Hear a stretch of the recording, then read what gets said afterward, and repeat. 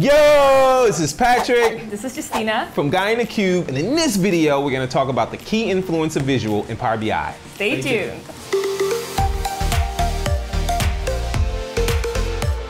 Okay, Justyna, I've been thinking about this, I've been dreaming about this key influencers Great, visual and doing this, vi- this video ever since you and I talked about it, but I just didn't have good data. I really don't understand it, to be honest with you, right? Okay. And so I'm happy we just happen to be in the same place that you can do this video. Yes, All right, absolutely. all right. That sounds good. So tell me about this key influence visual. Okay, so the key influencers visual is actually the first AI visualization we've introduced in Power BI. The very first one. The very first one. There's going to be more, so stay tuned for those. You heard it here. There's gonna be more. There's going to be more.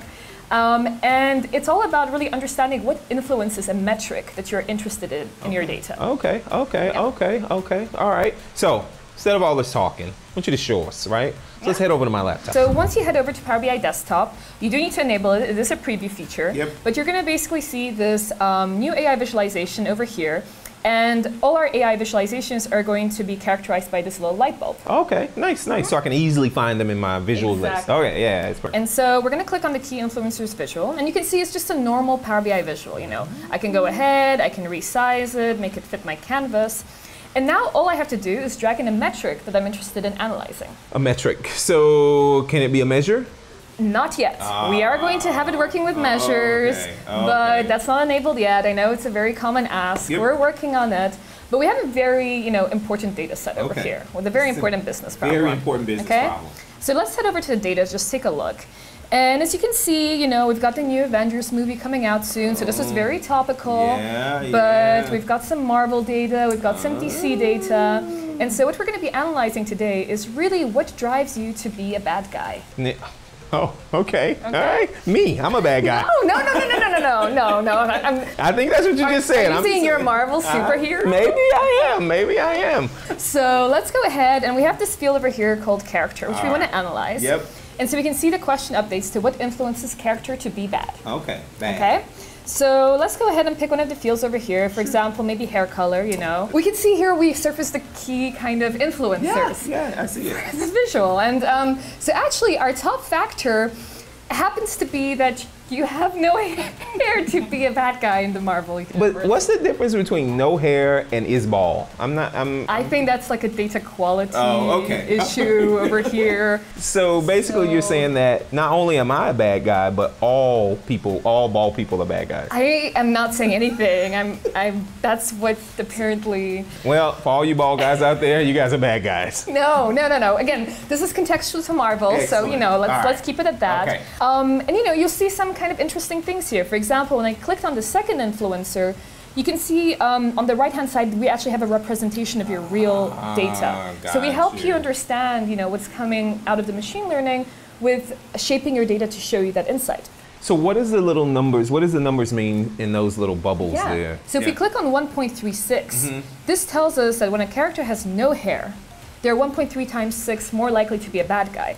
So we compare, we can see that about 85% of the characters in the Marvel universe who are bold are bad guys. Oh. And if we look at everyone else excluding this category, it's about, we can see 62% over here. Okay. All right. And so this is, you know, kind of this difference of 1.36. yeah. But we do some clever things here as well. For example, if we jump into bold, we can see we skipped a couple of factors. For example, like orange hair Yeah, yeah, yeah, yeah. and blue hair. And if we hover over these, we can see these have pretty low counts, like 20, 30. Whereas, you know, our, our bold category Seventy-four percent. and um, you know has about 600 300 counts of superheroes Okay, so we I also see. make sure that we don't you know give you patterns based off anomalous you know one-off So it's pretty intelligent.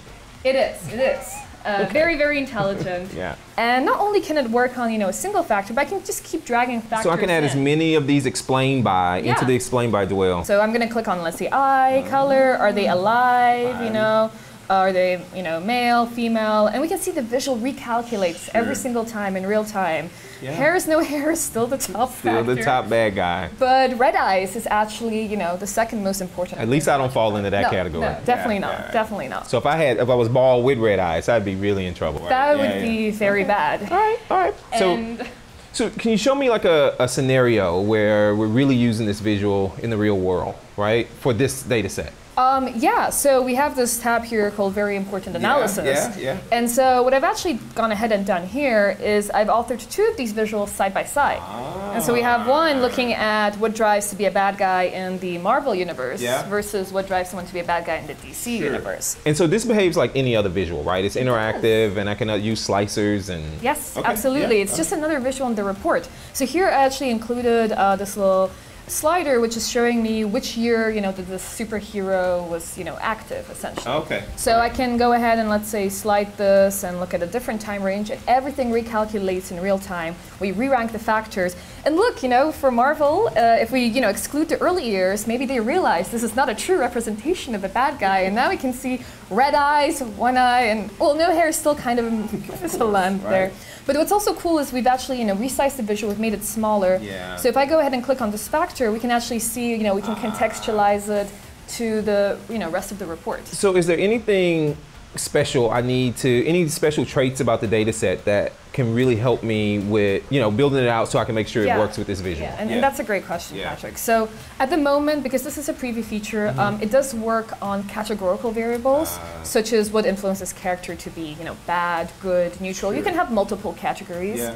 Um, and you need to have, you know, descriptors of that category. So if I have a bad character, I need to know what kind of attributes of this bad character I can use as explained by fields. sure. Um, as of April, um, we are introducing analysis for as well. Wow, you heard it first here. Yes, Yeah. and so that's going to be a really exciting update. So you can basically say what. Imagine I had a score for how whether a character was you know good or bad from one to ten. I can say what influences a score to increase or decrease. It's very nice. It's not going to work with measures yet. It has to be a numeric column. Yep. Um, but we are you know going to be adding measure support in the next. So months. just a numeric field in my table would work, Absolutely, right? But I can't like create a measure and. Uh, no, you can convert your measure into a numeric field, and you can use it that way, but Okay. not with uh, measures as the thing that you're trying to analyze.